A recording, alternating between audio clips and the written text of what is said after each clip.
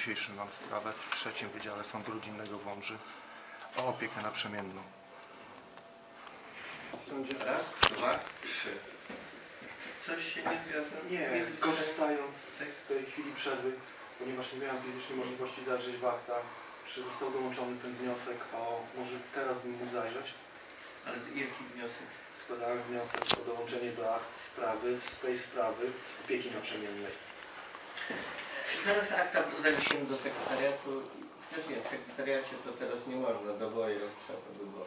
Dobrze, e, napiszmy jeszcze. Dobrze, usiądźmy. Stawili się. Bogdan Wądołowski, tu spadam. Bogdan Wądołowski oświadcza. Oświadcza, iż Tomasz Łazicki i Paweł Kądzyński są osobami zaufania.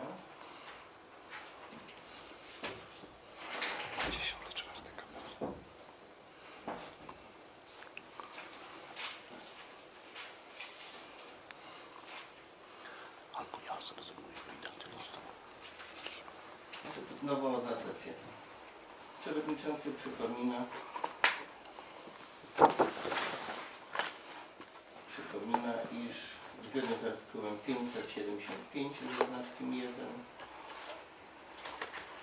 w sprawach opiekuńczych, także i w tej sprawie, sąd zarządził zarządza odbycie całego posiedzenia przy drzwiach zamkniętych gdyż przeciwko publicznemu rozpoznaniu sprawy przemawia dobro małe.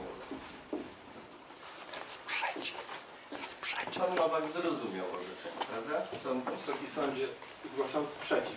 To nie przemawia za dobrym dziecku. Dobrze, Bogdan Wądowski oświadcza i zgłasza sprzeciw. Sprzeciw został przyjęty. Dziękuję bardzo. Dobrze. Zarządzam 5 minut przerwy.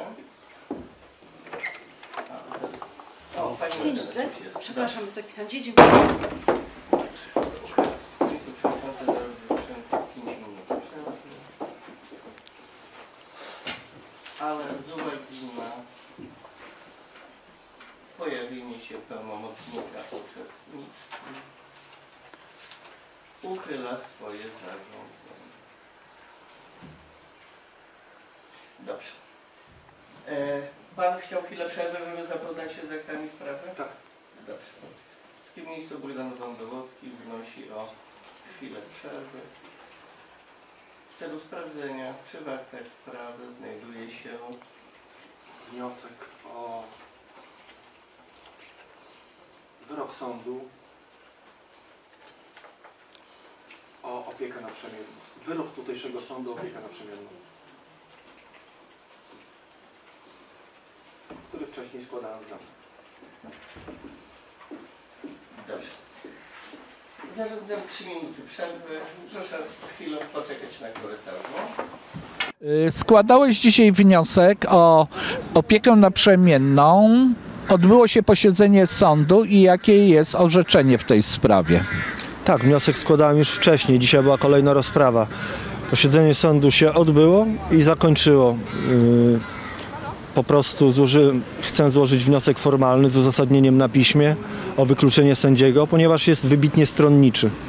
Na czym ta stronniczość y, polega, że zmuszony byłeś wyłączyć sędziego? Jednym ze sposobów yy, yy, uzyskania kontaktów jest karanie matki.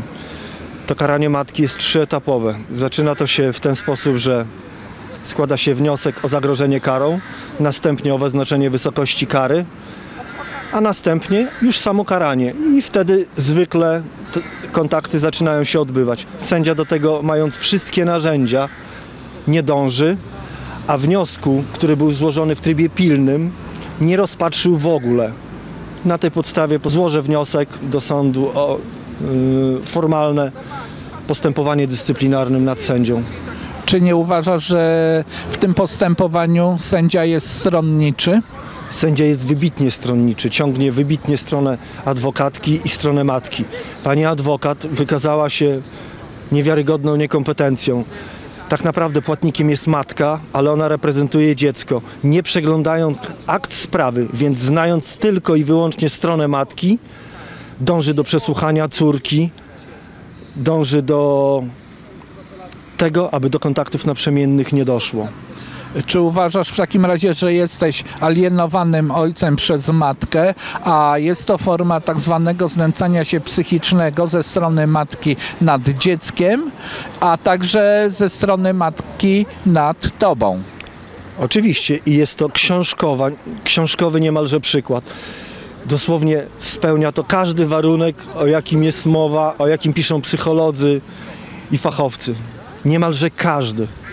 Dziecko spełnia wszystkie marzenia matki. Mama mnie nie lubi i tylko dlatego moja córka mnie nie lubi. Trudno sobie wyobrazić, że ojciec, który spełniał wszystkie marzenia córki, każdą zachciankę, czystym przypadkiem dziecko mnie nie lubi. Kiedy ostatni raz widziałeś swoją córkę? Prawdziwe ostatnie spotkanie z córką, takie normalne, cywilizowane miałem w kwietniu, czyli A. prawie rok czasu. Czyli od roku nie oglądasz swojej córki i matka uważa, że jest to wszystko w porządku, a dziecko dorasta i potrzebuje tak samo do prawidłowego rozwoju matkę, jak i ojca. Każdy to dobrze wie, z wyjątkiem sądu. W takim razie, czy sąd według Ciebie y, zabezpiecza dobro dziecka, czy w ogóle się nie liczy z tym dobrem dziecka, które jest naukowo stwierdzone, że musi posiadać zarówno ojca, jak i matkę do prawidłowego rozwoju? Sąd wyłącznie zabezpiecza swoje interesy, niczyje inne, polegające wyłącznie na mnożeniu spraw, a nie ich załatwianiu. W krajach cywilizowanych jest opieka naprzemienna, dookoła cała Europa. Fachowcy stwierdzają, że na- tysiąc przypadków zaledwie w dwóch przypadkach się nie sprawdza. Dlaczego tutaj miałoby być inaczej? Czyli sąd generuje koszty i praktycznie zarabiają na tym sędziowie, zarabiają adwokaci, a jest to proces, który ma zubożyć ojca, a jednocześnie wymazać, zabić dziecko w psychice ojca. To jest tragedia po prostu dla wszystkich dzieci alienowanych, najczęściej przez matki. Tak, to jest tragedia. Najgorsze jest to, że wyroki Sądu Najwyższego mówią o tym, że w przypadkach alienacji rodzicielskiej kluczowym czynnikiem jest czas. Sąd, tak jak wcześniej powiedziałem, mając wszystkie narzędzia, nie zrobił nic w tym kierunku. Nic, nie dał mi ża- szansy na żadne cywilizowane spotkanie z moją córką. Czy nie jest takim razie y, tego typu przykład, że mamy do czynienia z tak zwaną zbrodnią przeciwko narodowi polskiemu, bo jeżeli dzieciom zabiera się ich biologicznych rodziców, jest po prostu łamanie podstawowych praw człowieka. Tak, jest to łamanie podstawowych praw człowieka, moich konstytucyjnych i naruszenie dóbr obywatelskich, dóbr osobistych moich przez sędziego, choćby przez to, że nie wyznaczył terminu, nie, wyzna, nie, nie, nie wyznaczył yy, zagrożenia karą dla matki. Opóźnienie to są kwestie finansowe. Opóźnienie przypływu finansów od matki jest naruszeniem moich dóbr osobistych. W związku z tym sędzia zostanie wyłączony, gdyż nie może być yy, w sporze ze stroną. W takim razie ma zamiar złożyć zawiadomienie o popełnieniu przestępstwa przez sędziego do prokuratury krajowej w Warszawie do Wydziału Spraw Wewnętrznych. Tak,